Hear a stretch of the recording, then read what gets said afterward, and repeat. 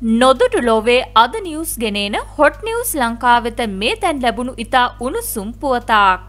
Colombo remand බන්ධනාගාරයේ රඳවා සිටි ඉරාන ජාතිකයන් දෙදෙනෙකු වස වර්ගයක් පානය කිරීමෙන් අනතුරුව මිය ගොස් තිබේ. එම වසවර්ගය පානය කළ තවත් රැඳවියන් දස දෙනෙකු රෝහල් ගත කර ඇත.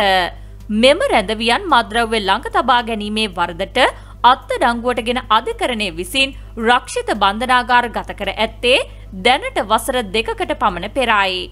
මොවුන් පානය කර ඇත්තේ කොරෝනා වෛරසය හේතුවෙන් බන්ධනාගාරයට ලබාදී තිබූ විසබීජ නාශක දීර බවද වාර්තාවෙයි. සිදුවීම සම්බන්ධයෙන් පරීක්ෂණයක් ක්‍රියාත්මක වන බව බන්ධනාගාර දෙපාර්තමේන්තුව කියා සිටී. මෙවැනිම උණුසුම් පුවත් ලද සැනින් දැනගන්න දැන්ම අපගේ YouTube නාලිකාව සබස්ක්‍රයිබ් කරන්න.